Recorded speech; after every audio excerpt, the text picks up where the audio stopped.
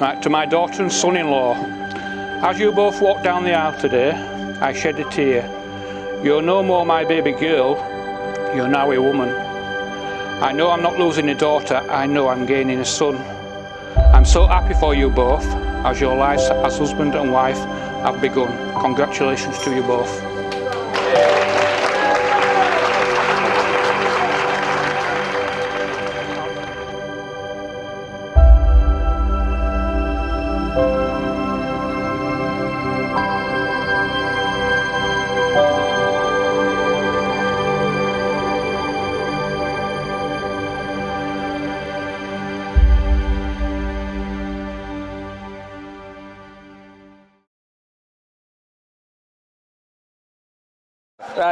Ladies and gentlemen, I hope you're all having a wonderful day at this beautiful venue. I firstly want to say all the bridesmaids have scrubbed up very well, and we, and we have tried our best to do the same. For the people that don't know me, I'm Jordan, Ash's younger brother. We first met 27 years ago. It was the 29th of January 1992, one of the greatest days in Ash's life. The day I was born. I don't remember much about that day. I was going through a lot at the time. But me and Ash had an instant connection. We both immediately disliked each other. For those of you that don't know me, I'm sure you all do. I'm Becca, best better sister. I started. I started thinking about this speech and got so nervous I thought about telling Beth I didn't want to do it. But I quickly scrapped that idea because anyone that knows our Beth knows she does not take no for an answer, especially on the run up to her wedding day. Uh, honestly, I was true shocked when Ash asked me to be one of his best men. So it's now my job to tell you a bit more about Ash.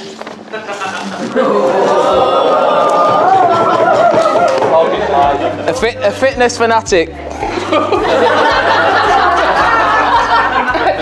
A drink. A genius and a hard worker. Unfortunately, he's none of those. However, he does have a few qualities that brought us all here today to, to celebrate his marriage to Beth. So where do I start? There is no better bond that us three sisters have. Me, you and Rachel. We are a team and always sit together and do everything together. I don't think there's a day we ever see each other apart. We're always there. You are my best friend. I'm going to move on and talk a little bit how Ash and Beth met. Ash and Beth first saw each other at a pub called Jam Factory. Ash was with his friends, believe it or not, he does have some. And Beth, and Beth was with hers. Ash must have thought it was fate for a woman to look at him. But little did he know, Beth was actually there to meet someone else. Fortunately, Beth did get stood up, which allowed which allowed Ash to get to know Beth more, which made them get into a proper relationship after some time. As children, it's fair to say we didn't always get on. Bickering and fighting over babies, prams and bikes. But I do remember how much we loved having the cutest little sister ever. Even though you were so annoying. you have grown up into the beautiful, kind woman and we are so proud of everything you have achieved. You, your home, your beautiful daughter, your nursing career, and I suppose your husband isn't too bad either. I read somewhere that the perfect best man speech should last as long as it takes for the groom to make love.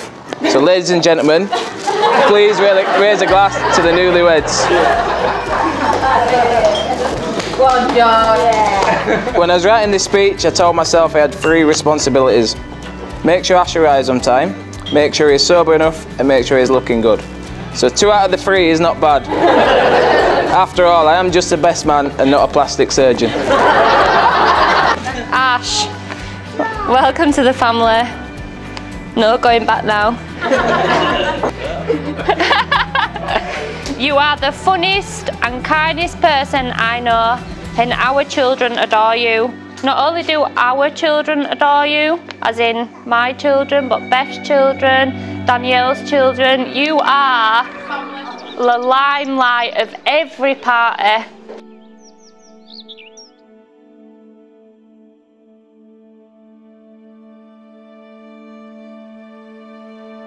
Ash, who knew that from the day I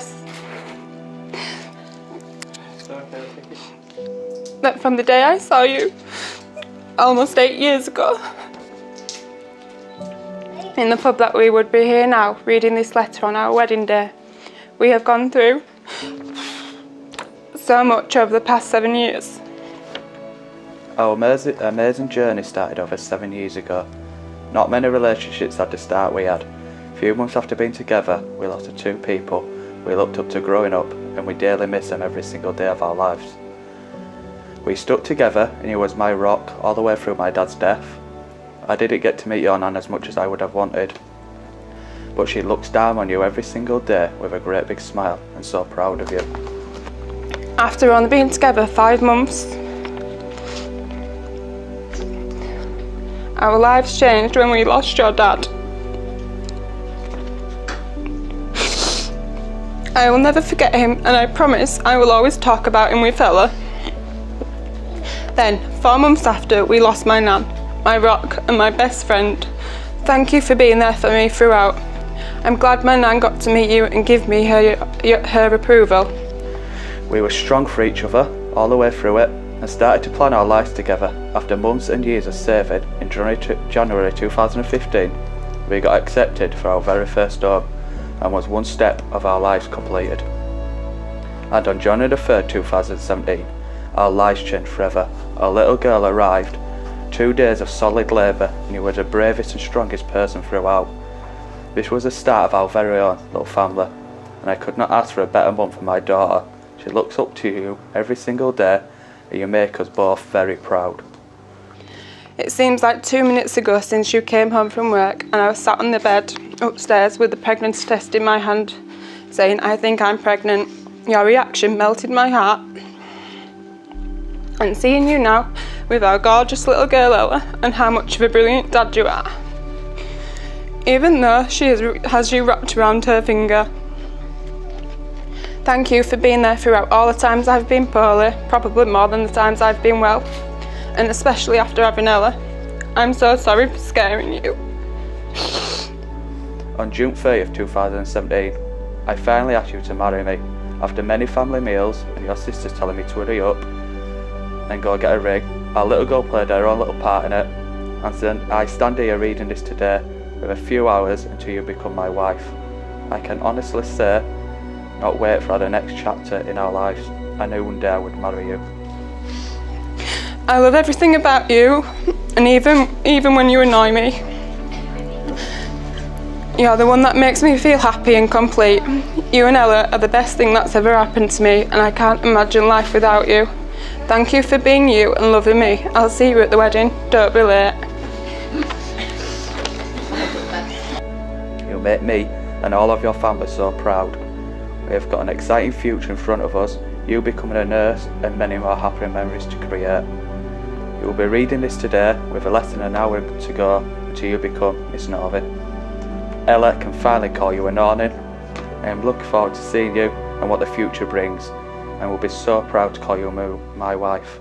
I love you to the moon and back. Ash.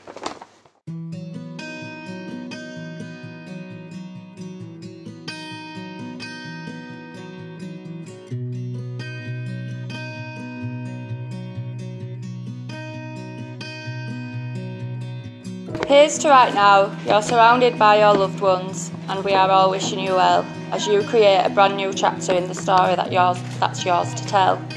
We talk about the memories you have yet to make together and the moments you've already shared to be carried with you forever. But take the time to live today as your marriage begins, look around and soak it up, the moment that we are in. For this is where the magic starts, when you both say your vows. You pledge to spend your lives as one because of the love you feel now. So yes, here's to a future that is bright and warm and clear. But more than that, here's to right now and what it means for us all to be here.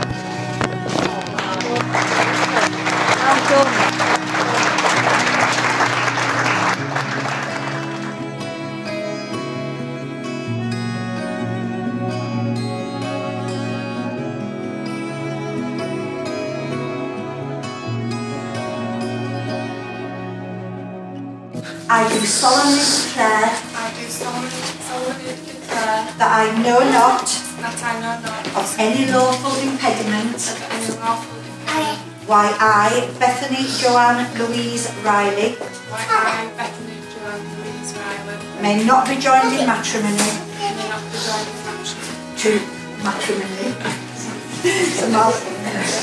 To, Ashley Craig Northing. From this day forward, From this day forward, I promise I will share with you I promise that I will share with you all that I possess all that I possess and all that I am. and all that I am. I will be honest with you I will be honest with you and stand by you and stand by you through whatever may come. whoever may come. I promise to love you, I promise to love you, to support you, to support you, and to respect you. and to respect you. You have both made the declarations prescribed by law and have made a solemn and binding contract with each other in the presence of your of the witnesses here assembled. It now gives me great pleasure to declare that you are married and you may seal your marriage with a kiss.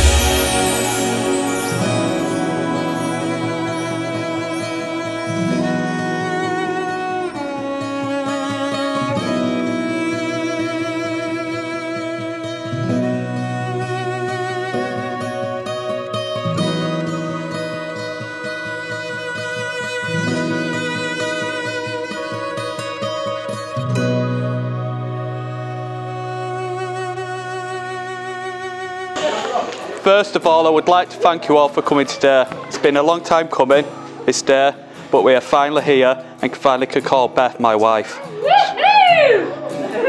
She makes me so proud every day and cannot wait to see what our future brings. I think we owe a few thank yous to certain people here today. Let's start with a bridesmaid. You all look beautiful today and don't think Beth could ask for better people to be at her side on her wedding day. Dan, my sister, from day one, you and Beth have got on like an house on fire. As your little brother, I look up to you and your family every day. Becky first come into our lives with the name Sandwich Shop Girl. Yep, sandwich shop lad. Yeah. She kept this name for months, but she grown into our family and helped me, Beth, and Ella, and a lot, and become a very close friend to Beth and a brilliant auntie to our little girl Ella. And now to Beth's sisters, Becca and Rachel. You're there for us, even when we don't want you to be.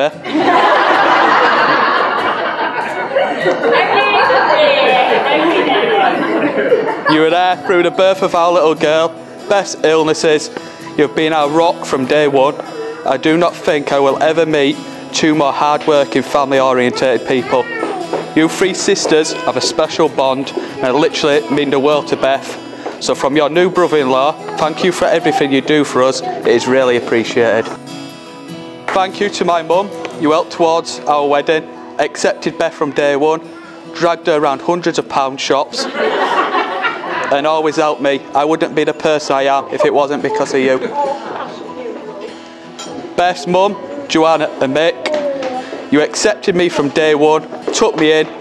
I might have not spoke for months. I bet sometimes you wish I went back to that. You helped us buying our first house, our engagement party, and the birth of Ella. You stood by us and helped us and keep helping us. We really appreciate it.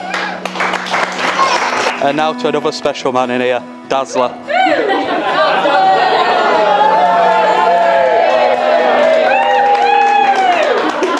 From day one, you took me in. You do more than help us through me working or Beth working. You help us out with everything in life, and from the bottom of my heart, we really appreciate everything you do for us.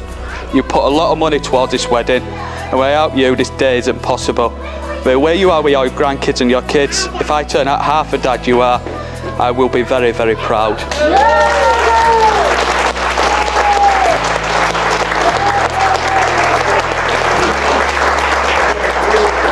You've put away a year of my bad cooking and rubbish jokes. We spent some special time together, even when I walked in, you're naked in the shower. Thank you for everything you have done for us, and please share that back.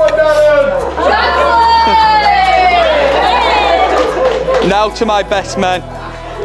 We have grown up together through all the fights and arguments. We have had who's better over FIFA or eating the last chocolate bar. We have always been close and not just brothers. We also have a bond which is special to me. As your big brother, I really am thankful for everything you have done for me and my family. From both of you planning a brilliant stag do, I could not ask for two better men stood by my side on my biggest day.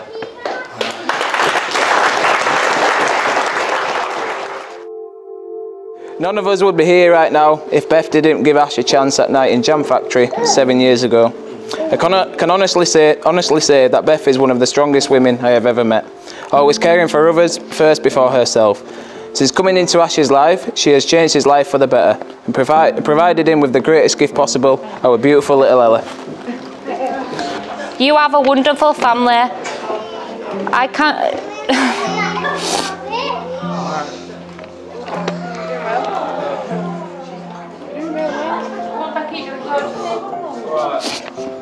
I couldn't ask for a better extended family.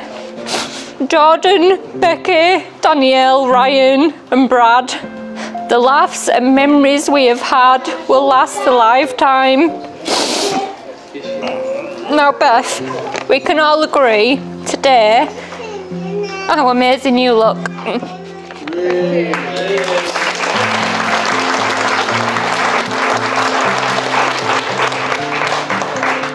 We love you so much, and that is not only from me, but from all your bridesmaids.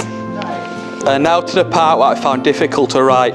Plenty of tears whilst doing this, but it's the two people who are not here with us today. Who have seen me and Beth grow up, and will be looking down on you, so, so proud of everything we have done. They've been a massive part in our life, and are dearly missed every single day. First of all, my dad, he didn't get a lot of time spent with Beth. Before he was taken, but I knew we'd accepted her from day one. He told me when he first met her what a lovely, kind girl she is, and I know he will be looking down and definitely approve of Beth.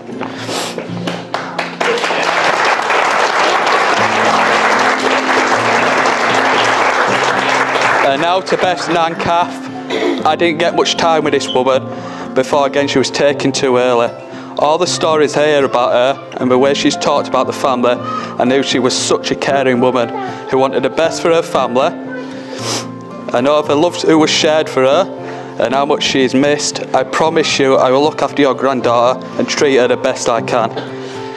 Beth misses you every single day and I know you'll be looking down on this day with a great big smile and so proud of how far your family has come. So my second toast can be to the ones who are dearly missed.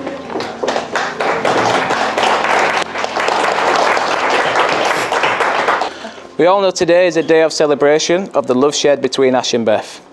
As with all celebrations, it can also be difficult. There are people who would have loved to be here today, but even though they can't be here in person, we know they are looking down with a smile. First of all, I would like everyone to raise a glass for Beth Nan Kath, who I know is, who I know is missed daily by her family. From the stories I've been told, she was an amazing woman and her legacy lives on through her beautiful caring family. She will be proud of the women and mothers you have all become. Please raise a glass to Kath. I would also like to raise a glass to our dad, who was a kind, loving father and husband who would always who would have loved to be here to see, to see his eldest son marry the woman of his dreams, who was a rock for not only Ash, but for all of us through the hardest time of our lives when we lost our dad. You will never know how much your support helped us through, and I want you to thank you from the bottom of my, of my heart. Ah, Ash, I know that dad is up there somewhere, beaming with pride at the man you have become, and the amazing dad you are to Ella. So please raise a glass to our dad Sean. Ash and Beth, I think I speak for everyone here today when I say I wish you both a lifetime of happiness together and we are excited to see what the future holds for you. maybe even a little brother or sister for Ella.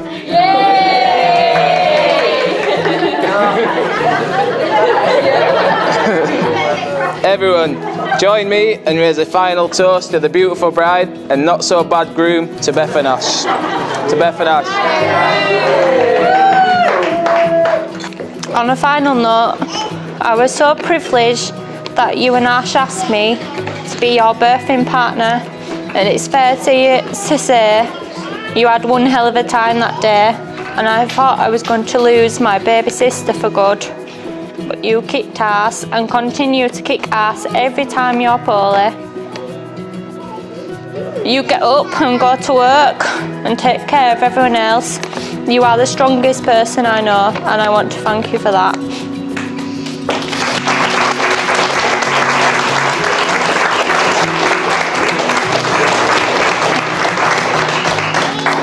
Thank you for always being there for me, the black sheep of the family, when I need you the most, even when you feel so poorly yourself. So let's raise a glass to the beautiful bride and groom, and Ella, of course. To Ash, Beth and Ella. And Ash, don't forget, a happy wife means a happy life. And Beth, don't forget, let him play football, for God's sake. And finally, I would like to thank my new wife. As our, our future begins, I'm very excited. I have finally married my best friend, and I will carry on loving you and always do the best for our family. On the 3rd of January, you were amazing. You brought our little girl into the world. And for the tiny little scare you give us, I knew you'd be, come out stronger and keep getting stronger and stronger. Final toast to the future and my new wife.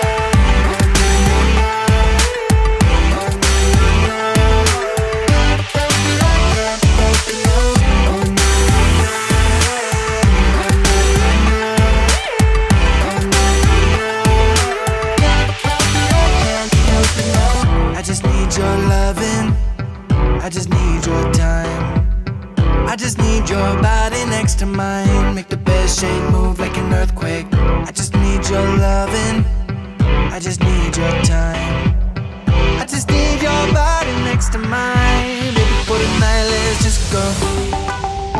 Let me show you. Let me show you. What I've been dreaming